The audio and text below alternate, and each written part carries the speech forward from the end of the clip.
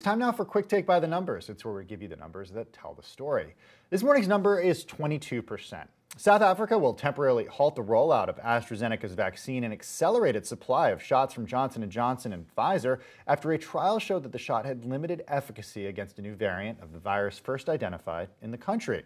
The South African arm of the trial found that the shot from AstraZeneca and the University of Oxford had only 22% efficacy against mild and moderate illness, according to the lead researcher.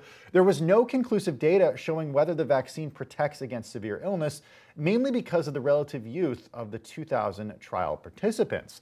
The data have cast doubt over the usefulness of the Astra Oxford shot, which was the first coronavirus vaccine to arrive in South Africa last week, and it was due to be rolled out by mid February.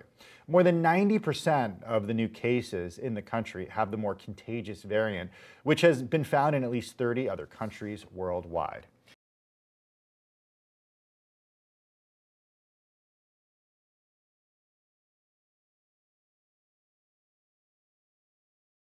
The biggest stories the moment they happen from around the globe. Subscribe to Bloomberg Quick Take now for insight in an instant.